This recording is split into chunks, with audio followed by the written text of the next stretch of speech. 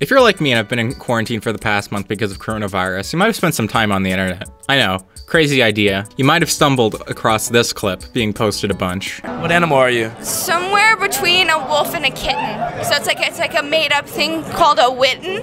I like to purr a lot, but only during sex. And then I just go meow and like yiff, yiff. Good boy. I live in immigrant housing with a bunch of other undocumented people because I don't have an ID or a social security card or any credit because I'm trying to live off the grid because that's how committed I am to not being human. How old's your baby? She's five months old. Shout out to my parents for adopting her and my, my gay boyfriend for staying in Ohio because he's gay. Do you have a craziest furry story?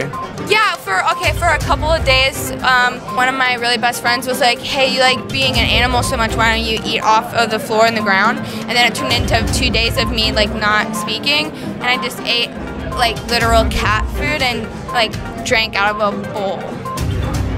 How'd that make you feel? Good, Why? Because I got head pats. This clip specifically was from an all gas no brakes video. And if you're like me, you probably had these questions. Erm, WTF the fuck is going on? Is she on drugs? Is this for real? What does Yoshi's egg smell like after he poops them out? Is it normal to want to smell Yoshi's eggs after he poops them out? But more importantly, who is this girl? After scouring the comment section, I found nothing except her Instagram, and I managed to message her to do an interview to which she actually responded and was very gracious to provide me with an interview. Just to preface this interview, I did my best to be non-judgmental and not treat her like some uh, sort of freak show or liberal cringe compilation number 12, slapping my knee, lamowing my ass off on the floor. You know, I was really interested about the story behind this clip and just like, what the fuck? What the hell?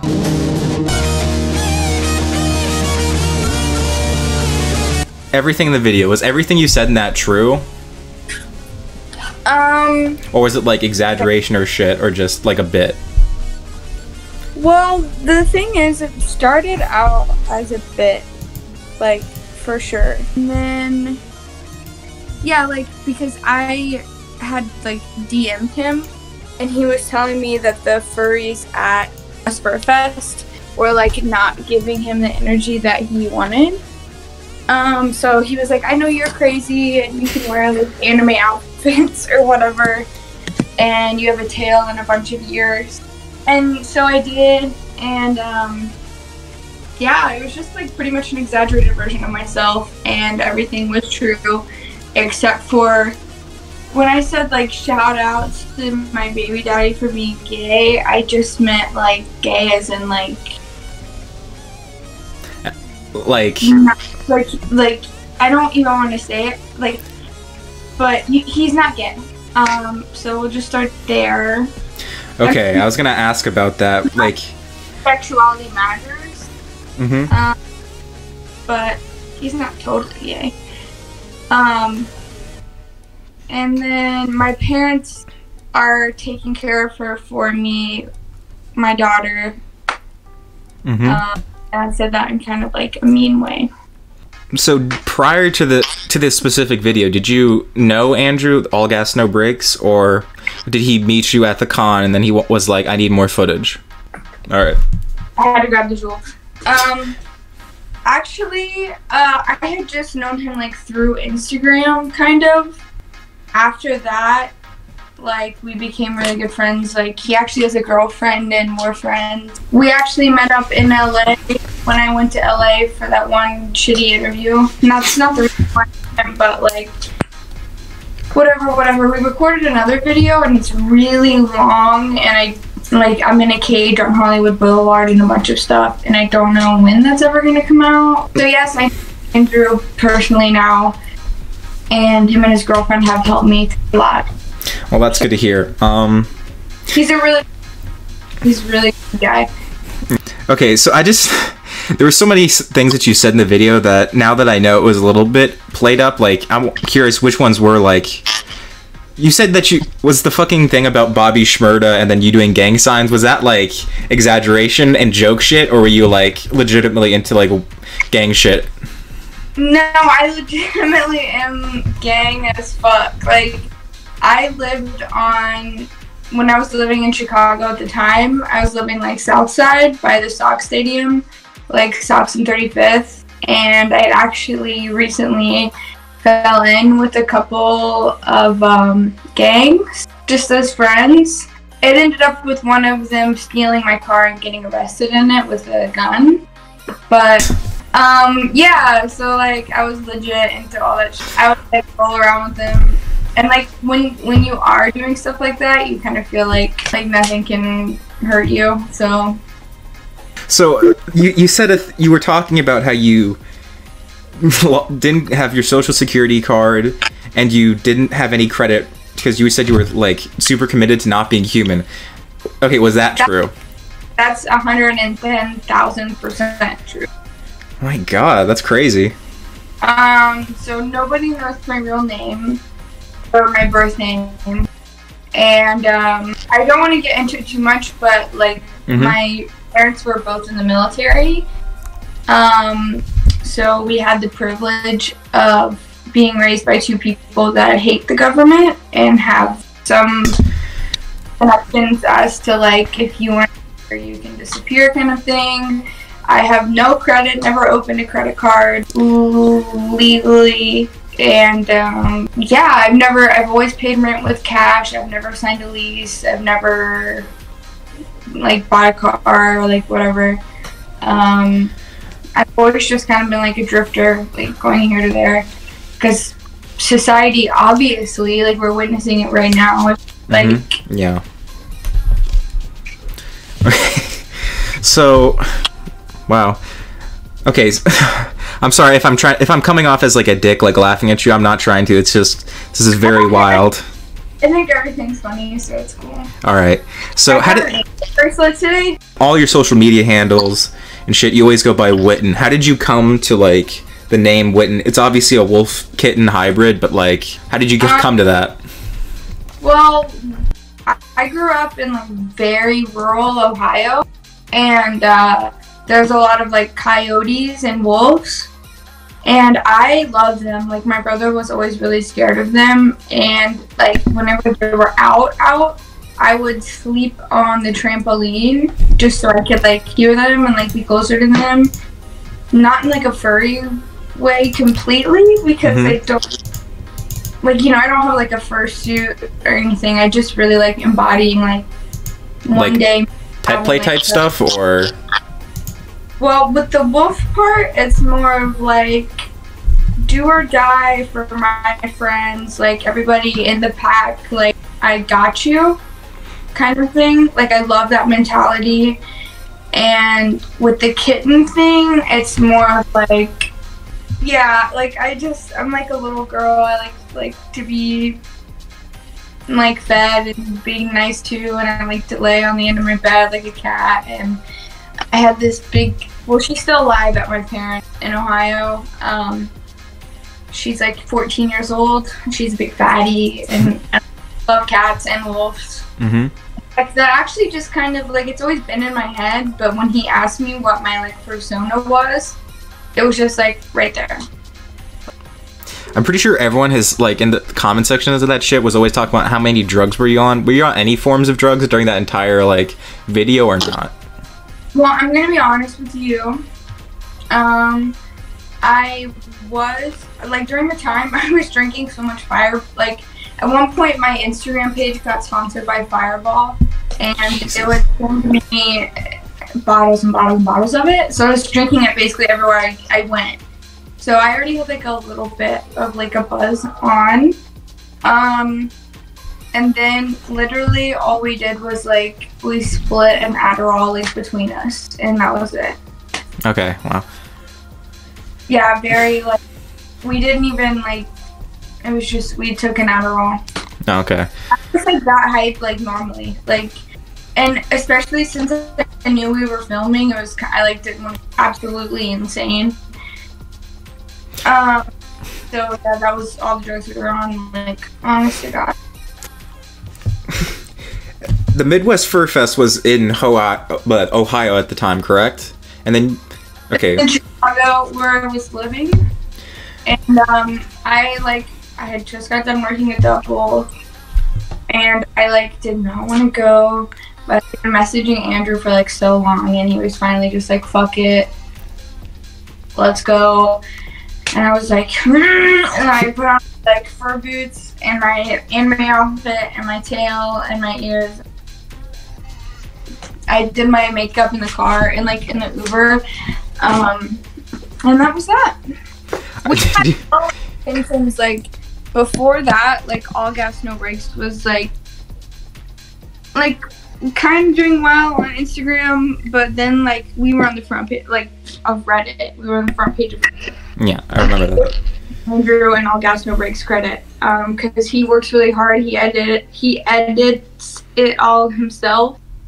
Um, so yeah, but like it just went from and I remember being on the front page of Reddit, and I quit my job, and I like just went around to each like restaurant booth where I worked, and I was like, I'm on the front page of Reddit, bitch. And I just like went out and like quit, and I told a bunch of people on Twitter that were following me um, to like come in and like yell at my managers and stuff to get me fired. and then the, the, a couple days after that, I went to LA. Uh, could you please explain just like why you moved around so much? Was it just because of like the whole blow up type thing? You're like, I got to get to LA, or was there like, No, I've always like ever since I was 16. Like I know it doesn't it doesn't start great, but when I was 16, I was like just doing anything to get out of because I grew up in like a double wide, like a trailer park kind of sitch, like trailer park. Um, so I was just like always trying to get out. And my room, I, when I was like a little girl, had like no windows even. So I was always trying to like get out, escape, whatever. So when I was 15, I used the excuse of like my high school boyfriend to like, um, we got like fake engaged or whatever, and I moved to Kentucky. That was my first move. Moved back. Um, then I went to Columbus for a little bit. Then I went to the UK for a while. And then Tennessee. And then back to Ohio and then Chicago. And then I went to LA for a little bit. And then I'm where I am now. and I don't know if this would be too personal, but where are you? Like, what city? Um, Blackpool? That's in Europe. You're in Europe right now. Yeah. Damn. Wow. It's really actually pretty easy to get fake IDs and fake passports. If anybody wants information on that, I could definitely um, not out with that. I'm like the fucking nerdiest white kid ever. This is really. God, wow. Um,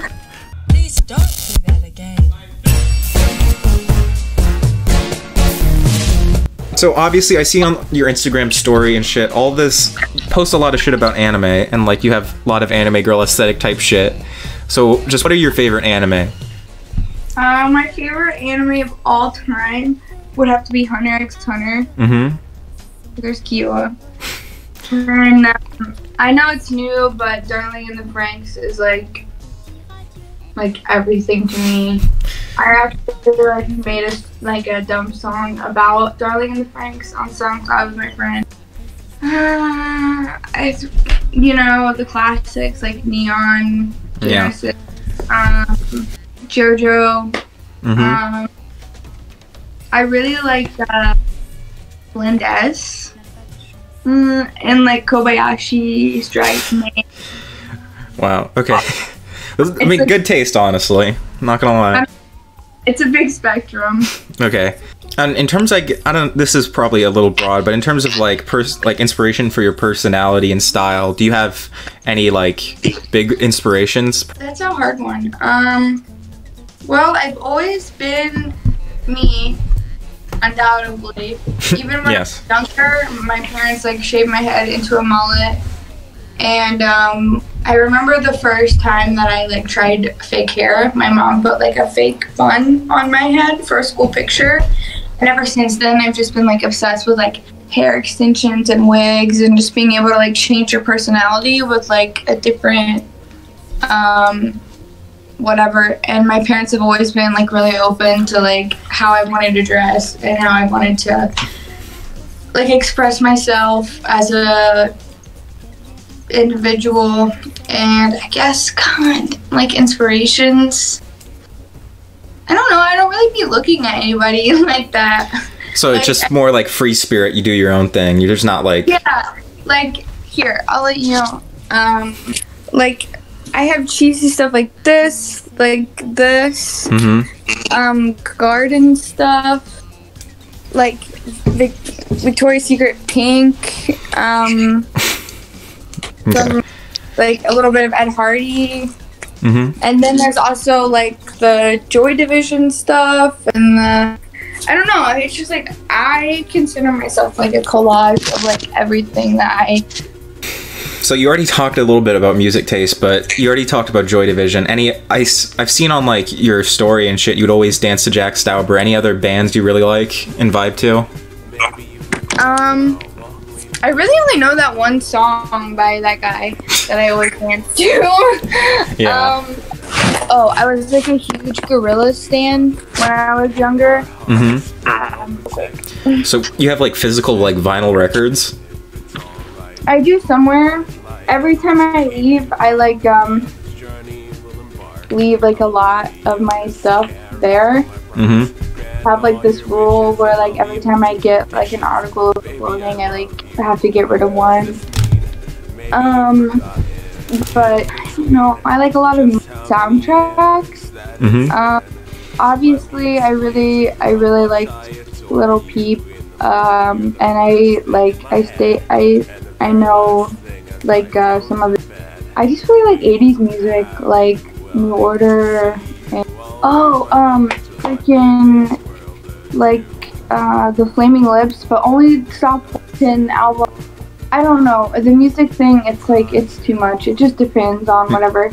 Yeah. If I can be honest with you, I haven't really been able to listen to music since I I like went through this really traumatic like breakup thing. Mm-hmm. Um, so ever since then, like I haven't been able to listen to music really as much as I. Is his name Jack Mouse or something? Is that a guy? I think you mean John Maus. John Maus. Yeah, he's cool. Um, Life can be so full of danger. So uh, you recently posted on your Instagram story. You were talking about how you got out of rehab. Could you talk a little bit about like, you know? I would love to talk about this. Yeah. Go ahead. Um, 'cause that's- it's important. Um, for people to know that there like is a way out. Mhm. Uh, this is gonna be. I'll keep it short, but so I when I went back to Chicago, I was only there for like a little bit, but like I fell into this really weird like rave type scene, and um, the big thing to like fit in was to like really do drugs. And like I've done drugs before. Like I'm from Ohio. Like I started taking just pills when I was 13 um but it got really bad especially with the drinking um and it just got to the point where I realized that like I just wasn't functioning very well without them and I knew that I was like addicted Mhm. I remember like I got carbon monoxide poisoning, broke my leg, got roofied all in one week. And then I woke up in this house and it was just like the walls were dirty and like the blankets smelled bad and like I didn't even like the guy that I was hanging out with. Um, Sam, if you watch this, I'm not talking about you. Um, and it was just like that was like rock bottom. That was like, and Mhm. then in in rehab or recovery, like you have to reach a rock bottom. So it's really important to like get there. And I've actually had a couple messages from my friends saying that like, oh, you've helped me like wanna quit cocaine or kratom or whatever.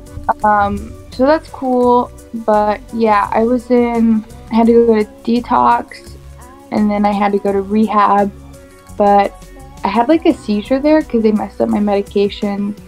So I was able to come to like this like safe haven, just a clean environment basically, which is better than rehab because rehab was like jail and you had to wear scrubs and you had to like follow a schedule. You didn't get a phone. Um, you didn't get makeup. You it was terrible. but I'm 36 days sober now. That's good. And yeah, it's really good. I can't say that I think I'm an alcoholic. I think I was like subject to circumstance. Like I really wanted to fit in and I didn't even realize that like a lot of people were just like watching my downfall and cheering it on um, for entertainment. And like people would invite me to like rave parties just as like a novelty. Like not even like they wanted to hang out with me. They like just wanted to like get a picture like you know like just watch me like be an idiot very degrading. And Mhm. i'm starting to make peace with a lot of it but um it still kind of burns because i lost out of like everything that was important and i lost like a lot of my real friends In the video, you talked about your your kid being adopted by your parents. Was that related to like the drug abuse problem at the time, or? No. Um, I'm young. I'm not 26 like that video says. I think you just thought that was funny. Um, but uh, a lot of like young people just aren't ready to be parents. Mm-hmm. And um, I know I'm not supposed to talk about it on media, but I love my family. Um, her dad was my best friend, and we lived together for three.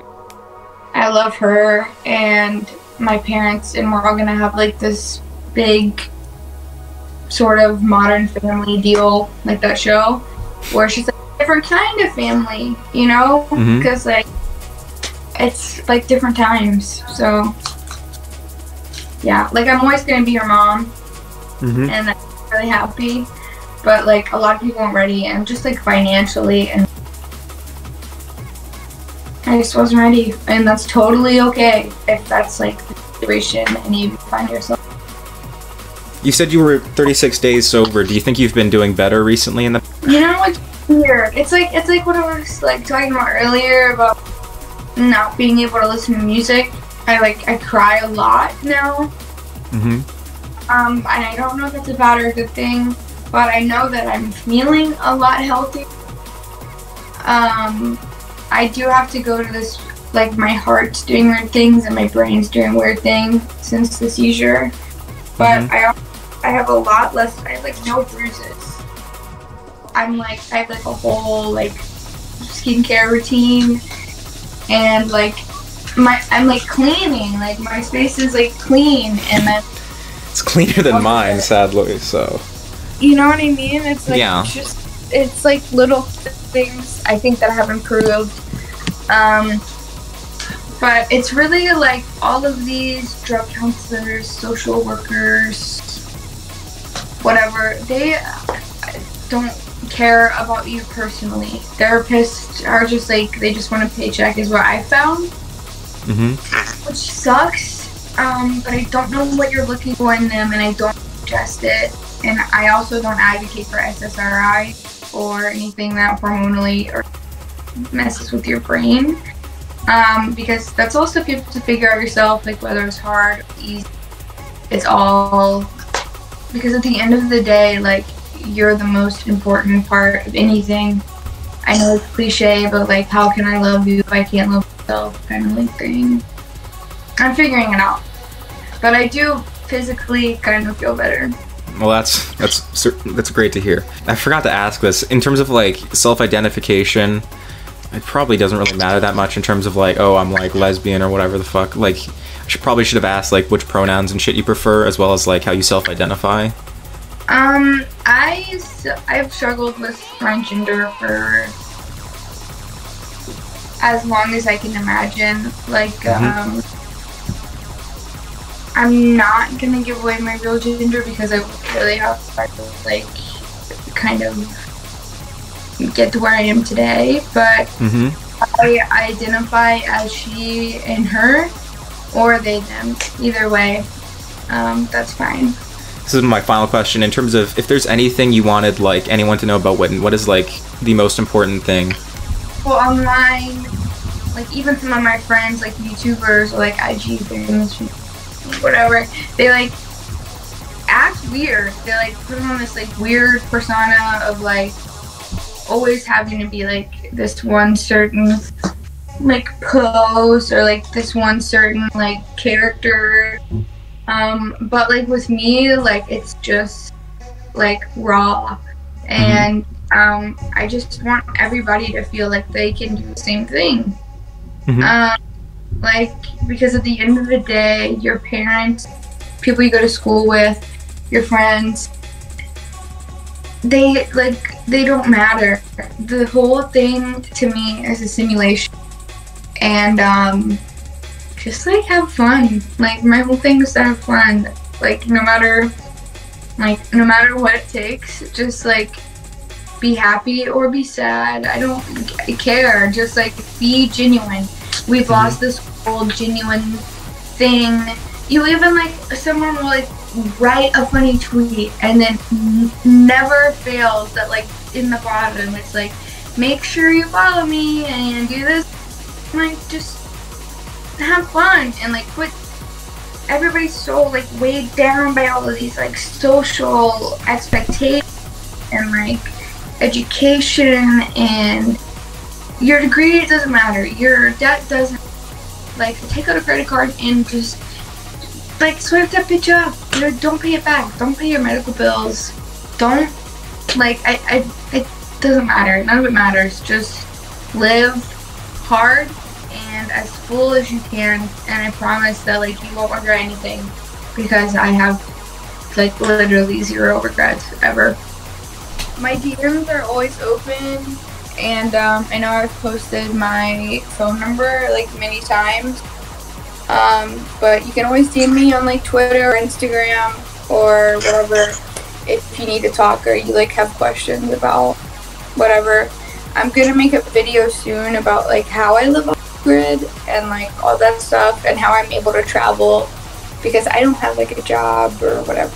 And believe it or not, like I don't do sex work, so I'm gonna make a video about that later. Um, so I just want to take these last moments to thank Witten for actually responding to an interview. I was so unprepared for this. Literally, I had an hour of preparation to do this, and the moment I ended the recording, started cackling like a witch because I was so freaked out over actually doing this.